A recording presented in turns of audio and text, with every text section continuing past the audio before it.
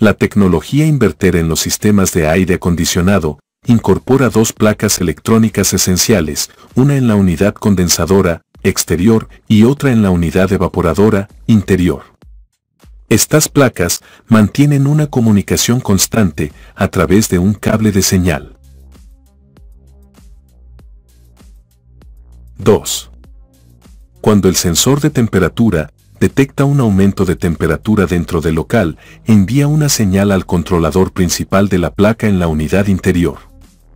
A su vez, la placa interior analiza la información, la compara con el valor requerido por el usuario y comunica a la unidad condensadora lo que está sucediendo dentro del local mediante el cable de señal. 3. Ante el aumento de temperatura, y con la información suministrada por la unidad interior, el controlador de la placa electrónica exterior aumentará la velocidad del compresor del aire acondicionado, enviando una señal a su módulo inteligente de potencia IPM. 4. Este módulo IPM es alimentado por corriente continua del circuito PFC todo dentro de la misma placa exterior, encargándose el módulo inteligente IPM de transformar esa corriente continua en corriente trifásica. 5. El aumento de velocidad del compresor tiene como objetivo aumentar la cantidad de refrigerante en la unidad interior, de modo de absorber mayor cantidad de calor y devolver el valor de temperatura a los valores requeridos por el usuario. 6.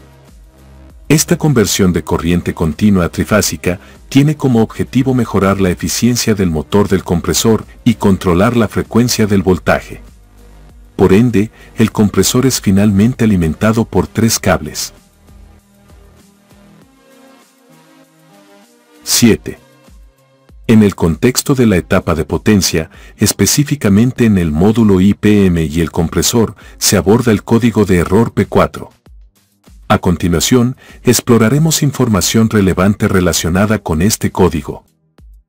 El error P4 está estrechamente vinculado con el funcionamiento del compresor inverter, o su módulo de accionamiento, también conocido como IPM, módulo de potencia inteligente.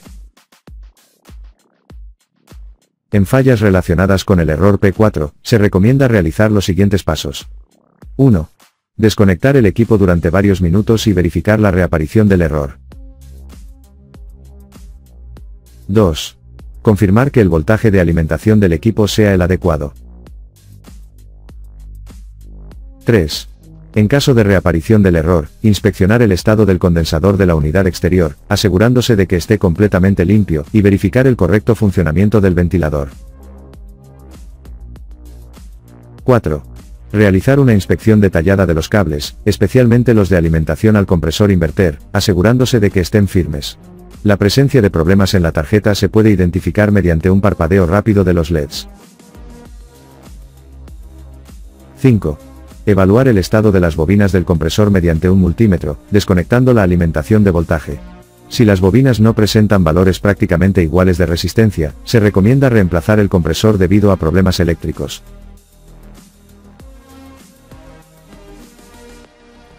6. En caso de que el compresor esté en buen estado, llevar a cabo una inspección minuciosa de las pistas de la tarjeta electrónica externa. Verificar visualmente el estado de los capacitores, y corregir cualquier problema identificado en las pistas. 7. Utilizando un multímetro con la tarjeta desconectada, verificar el valor de las resistencias eléctricas de la tarjeta exterior, comenzando con aquellas cercanas al módulo IPM. Reemplazar cualquier resistencia con valores anormales por una con las mismas especificaciones.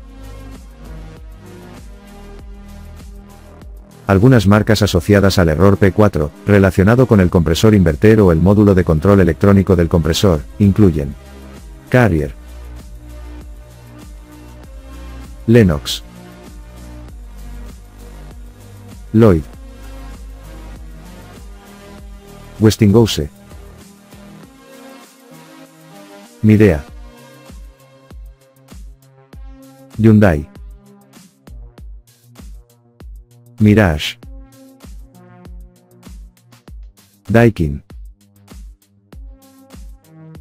Itachi. Mundo Clima. BGH.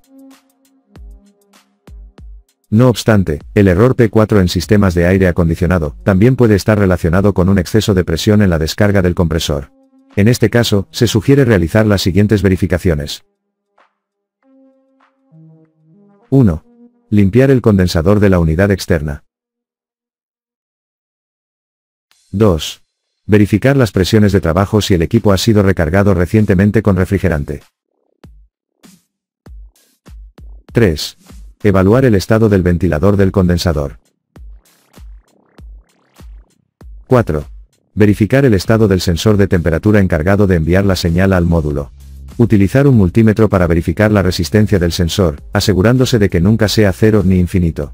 Además, comprobar la alimentación de voltaje del sensor mientras está conectado, la cual debe ser de 2.5 voltios durante su funcionamiento. Algunas marcas asociadas a este significado del error P4, relacionado con la temperatura de descarga del compresor, son TCL.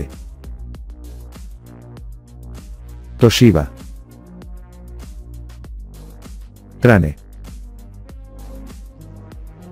York. Pioneer.